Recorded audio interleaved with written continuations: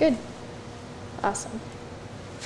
And then knees stay on the inside and feet go from the inside to the round. Yes, yes, that's it. And then push your hips. Nice. Good, and then hit your pike one more time. Nice job. Yay.